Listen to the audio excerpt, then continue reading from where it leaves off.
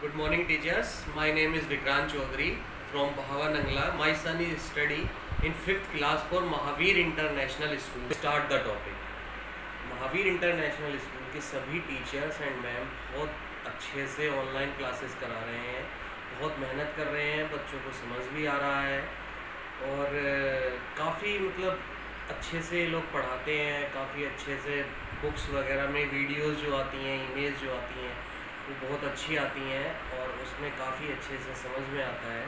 बस कुछ पॉइंट्स हैं, जैसे कि एक्टिविटी आप कह सकते हैं। एक्टिविटी मेरी ये रिक्वेस्ट है टीचर्स से कि जो एक्टिविटीज़ हैं, वो एक्टिविटी ऐसी दें, ऐसी बच्चों को करने के लिए दें जो कि गाँव में जैसे बच्चे हैं, गाँव में वो चीज़ पॉसिबल हो। बहुत से गाँव ऐसे हैं जिनमें शॉप्स नहीं है स्टेशनरी की, जहाँ से हम मटेरियल परचेज़ करके ला सकें।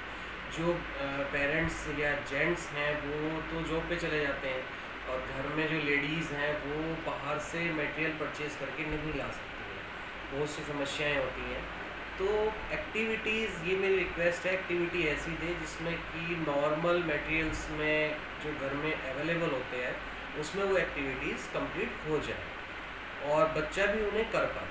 बहुत सी एक्टिविटी में देखता हूँ, ऐसी आती हैं कि वो इतनी हार्ड होती हैं कि वो बच्चा तो खैर बना ही नहीं सकता।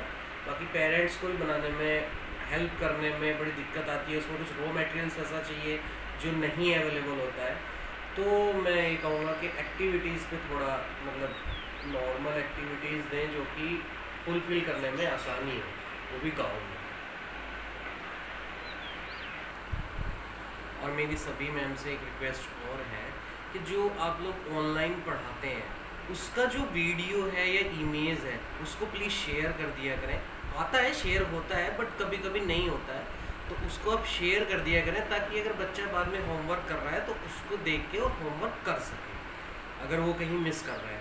बाकी टीचर्स बहुत अच्छा पढ़ा रहे हैं, बहुत अप्रिशिएट कर रहे हैं। बच्चों को कई कई बार समझाते हैं। अगर बच्चे को समझ में नहीं आता है, तब भी उसको कई कई बार समझाते हैं। टीचर्स बहुत मेहनत कर रहे हैं। दो दो तीन तीन घंटे तक बच्चों को पढ़ाते हैं और ऐसा नहीं है कि जो ऑनलाइन टाइमिंग होती है, केवल टीचर्स उसी में पढ़ाते हैं। अगर आपको नाइट्स एक्टिविटी में भी अगर आप कोई मैसेज कर रहे हो तो उसका रिप्लाई भी टीचर्स देते हैं। तो मेरे हिसाब से 24 फोर आवर्स ही टीचर मेहनत कर रहे हैं और 24 फोर आवर्स ही स्टडी करा रहे हैं। तो बहुत अच्छे से महावीर इंटरनेशनल स्कूल में पढ़ाया जा रहा है और काफ़ी टीचर्स मेहनत कर रहे हैं। ऑनलाइन में देखिए थोड़ी तो प्रॉब्लम्स हैं, खैर ऑफलाइन और ऑनलाइन में बहुत फ़र्क होता है बट लेकिन जितना भी है वो बेटर है, बहुत अच्छा है। बस कुछ पॉइंट्स हैं जो मैंने आपको बोले हैं प्लीज़ उन पर आप ध्यान दीजिए